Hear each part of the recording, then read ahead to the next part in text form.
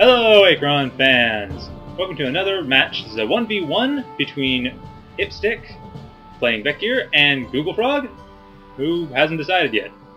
Uh, let's see. Okay, now he's playing CESO. He went in the past and decided, so... And, of course, there's a bunch of observers that don't exist. Uh, don't worry about that. But, so now we have Google Frog, CESO, and IphStich Vecgir, both going for what looks like a fairly economic start. So to have a especially exciting game. It doesn't even look like Google Frog has been scouting much, but Google Frog is going into the future. I'm just going to see, is he scouting something in the future? No, he is not. So at this point, IphStich has set up in the present, so just so you know, I was behind a bit there. IphStich, back in the present, has set up his economy, and so has Google Frog. So Google Frog is going into the future to apparently scout out something. It seems that he's trying to figure out what to do. I guess he's decided to build economy more to the future without having to worry about the present catching up with it. So, any rate, looks like both players, or IphStich at least is going for a scout. Frog does not seem to be actually scouting. Normally you'd scout with your special ops, but I gets he's decided not to. So at this point, IphStich is going to have a slight advantage in information. Google Frog not knowing what IphStich's up to may be a problem for him. He doesn't even know what race IphStich is in the moment. So, IphStich will be at a slight advantage once they know, once well, basically once he gets that Tethvir into Google Frog's base. So let's watch that happen, since not much else is happening right now. So yeah, this is a pretty, this is a pretty standard, just opening the game. Players are just setting up their economies, getting set up. So this point, looks like yeah, IphStich's going for early foundation. He'll probably be building that into a depot, so he can get vehicles really quickly. At this point, he doesn't have nearly enough resources for it yet, but he will soon. I assume he doesn't, since he hasn't built it yet. And looks like Google Frog is going for an early factory as opposed to an early importer. Oftentimes, players will go for an importer before going for a factory. In this case, he decided to go for the factory first, and now he's getting the importer. Importers are necessary for CESO in order to have reserves. Reserves are necessary for every unit except mechs, which aren't particularly powerful units, so there's good reason to build unit or build importers to get units other than reserves. So right now, if sticks, if Sticks Tethvir is just about to get into the base of Google Frog, and it looks like he's gone back into the past for something. And I'm just going to check. See, it looks like... No, he hasn't done quite as I expected. He hasn't changed his race, which I was thinking he might do. And it looks like he's just going to check out what's going on now in the past. He's probably... So he jumped into the present, now he's jumping back to where he left off. He's not fast-forwarding yet. Oh no, he's fast-forwarding now. So now as Tethvir is going to get into the base, he's going to know Google Frog's to, know Google Frog's race, and Google Frog does not yet know, or at least he doesn't know in the present. In the future, he also doesn't know. He doesn't actually send out a scout, a scouting lancer, as it were, until about, well, 3 minutes 38 seconds in. The present is currently at 3 minutes exactly. So he's not going to be knowing for a little while what's up, and at this point, IphStich does know, but IphStich has actually lost his unit, so he doesn't know very much what is going on. He's only got a very small taste. He knows that Google Frog is CESO, but he doesn't know what Google Frog is going for. He's going for a Lancer Rush.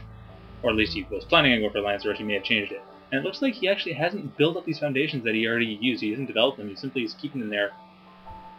I'm not sure exactly why. Maybe he developed them in the past here. Yes, never mind. Okay, he has actually developed them in the past, so that was what he did when he went back. So he is developing them into a pair of depots and an aerial control center, this will allow him to very quickly get a lot of vehicles and a lot of air vehicles too, but it's hard to tell whether or not he's actually going to be able to. The thing with depots is that they can build a lot of units at a time. They can build them all in parallel, so you don't have to worry about running out of space so much until you get to the later game and you start building Halcyon-class units, which take up a lot of space. Then you usually need more than one depot. But at this point in the game, I'm surprised IphStich is going for that. This is pretty unorthodox. So now Google Frogs, here we are, about 3 minutes and 30 seconds into the game. Google Frog's Lancer Rush is going through, and looks like IphStich has actually sent Design Veer to expand down to the Q Plasma only expansion in the bottom left corner.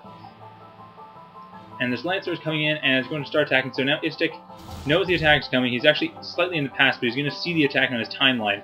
While Google Frog is going to be in the future, and looks like Google Frog is simply planning out what he's going to do in the future. Wow, he's actually he's going to have a lot of macrofabs. So about five minutes into the five minutes, 45 seconds into the game, he has about three macro macrofabs, and he has quite the production infrastructure. But back in the present, he only has two macrofabs, and where he's currently looking, he also does. So the Lancer is coming in, and now the Lancer is going to be coming in. So the there's a Zion Veer coming in, trying to fight off the Lancer, but it's not going to be very powerful against it. Zion Veers are not good against air, and the Lancer had an advantage in range. The Lancer is going around, it's going to try to hit some resource processors, try to slow them down, because when you hit the resource processors, they close up, they don't harvest anything, and he's going to completely wipe, or at least cripple IphStich's, IphStich's economy, and this is going to be a big deal because IphStich needs that Q Plasma if he wants to build any vehicles, and he needs those vehicles if he wants to get anywhere ahead in the game. So I'm surprised actually this Teth Pulsar is going in the back. I'm going to look where IphStich actually is back in about four minutes in the game. when Lance Rush comes in. Let's just review. Okay, so Lance Rush is going to be coming in. Now, IphStich has actually had a chance to change his course of action and respond to this as it's coming. He's going to fast forward through this. So we've seen all this. Lancer comes in, starts to attack. Now, a Teth Pulsar has been built. This is the second time around. Teth Pulsar has been built. It's coming in. It's actually attacking the Lancer. It's doing quite a bit of damage. The Lancer has to run away. It can't do anything against the RPs. The resource processors are not being crippled. There are a couple being closed near the near the L crystal, but it's not going to be too much of a problem. They are going to open up fairly soon, and it looks like the Lancer is just trapped in here. He can't really get out. He's going to try to attack some of the RPs, or try to attack some of the units, but can't really do much. There's another Lancer coming in here, and it looks like it's going to be able to actually do the damage that was originally intended, but the Teth Pulsar is also going to be able to do a lot of damage to it, so I don't know how well it's going to work out. Looks like the Teth Pulsar is going to take care of this Lancer. Lancer has to run away, has to run away very quickly. I'm surprised, though, that the Teth Pulsar has not gone and attacked here with that Lancer. I'm going to go check, just check minutes in the past, and it looks like, no, nothing has changed. Google Frog is trying to change his course of action, though. About 4 minutes 20 seconds into the game, he's changing his course of action. Looks like he's not doing much, though. He might be doing something in his main base. It looks like he has... He's got a couple of Mar tanks being built. He doesn't yet... Well, right. 5 minutes and 40 seconds was when he got 3 macro fabs. So this is still earlier on when he doesn't have the 3 macro fabs yet. He only has 2. And it looks like IphStich has gone for a bit of an expansion. He's also going for an expansion in his natural. So he's getting more Q Plasma, getting more Liquid Crystal. He's going to be having an easier time fighting this off every time around because he is getting more resources. And it looks like at this point, he's gone in and he's gotten rid of the Lancers. It looks like Google Frog is not going to re-attack with Lancers. The Lancers have been eliminated. So at this point, IphStich is going to be able to sit pretty. I'm just going to jump a bit into the future, or further into the present, or further towards the present. And it looks like at this point, Google Frog has actually gone in to attack with the Mar tanks he was building earlier. Now he's building it. Now we see the third macrofab, and actually a fourth macrofab this time around. So he's going to have more macrofabs than he did the last time I checked this timeline, or this point on the timeline. So at this point, there's going to be three Mar tanks coming in and a frigate. This will be a lot more devastating against the ground, and all IphStich has is a Shin Pulsar is going to be scouting out the base. You're going to see this four macrofabs and a lot of units coming in, and hopefully he has enough resources to build up enough vehicles to get to take care of this. And it looks like he's actually back in the past. He has actually gone and done. He's gone a larger expansion though. He's taking advantage of the fact that he, well, he has all this resources, has all this time. He's not getting attacked, so he's going to be going to the past, correcting some stuff. I'm just going to fast forward a bit see what he's done, because I imagine that he's going to be starting building some units because he's going to need them, and he knows he's going to need them because Google Frog's attack is going to be hitting him. And he knows there's a time wave is going to come in, or Google Frog's own player wave is going to come in, so IphStich is going to know about this attack, He's gonna start. He should be starting building vehicles sometime soon, but I haven't seen them being built yet. Looks like he's still delaying on it, even though he should know the attack is gonna hit. Perhaps he's running out of chrono energy at this point, but this far, far back in the past is not that hard in the chrono energy. If you look, it's as you can see just on my timeline here, you can see the chrono energy is actually fairly low cost, so he should be able to rebuild units. He has the column up here, which is going to be able to scout it out, but it's too little too late. The coming in, the frigates are coming in, and it looks like the Martanks are starting to attack. They're going to take out this column hub quickly. This test Veer has also gone down quickly, so the frigates are completely unimpeded. Everything's unimpeded. There's massive attack coming in. There's... It's going to play it normally. So Shin is being built. There's also another Shin being built. That's good for Bomber, but the frigate's going to be able to make short work of that Shin Turcher because they're really getting this air, and the Martanks not going to be damaged too much. The Martanks have, and well, frigates primarily, gotten rid of this so now the Calm Hub is gone, so the scouting has now been reduced for IphStich. That now, okay, all the RPs, now all the QP, all the Q class RPs have been destroyed. IphStich has gone, tried to change the course of action, but he can't really do too much. Another Shin Turcher has been destroyed.